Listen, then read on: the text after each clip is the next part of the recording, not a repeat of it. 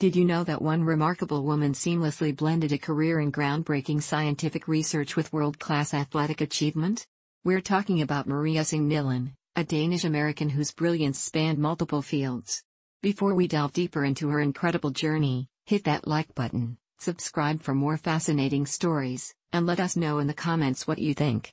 Marie Nylen was not just a biologist and a dentist, she was also an exceptional microscopist and, incredibly, a celebrated badminton champion. Her scientific contributions were truly pioneering, particularly her research on the morphology of tooth enamel, which fundamentally changed our understanding of dental health.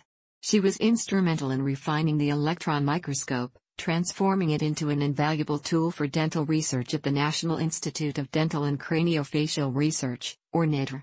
But Nylen didn't stop at the lab bench, her leadership broke significant barriers.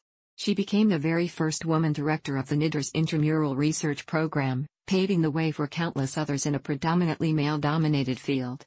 Her influence only grew as she later directed the NIDR's extramural research program, shaping the future of dental science on a broader scale. Yet, this titan of science had another life, one that brought her international acclaim for her powerful smash and agile footwork. Imagine dedicating your life to such complex scientific endeavors, only to also conquer the world stage in sports.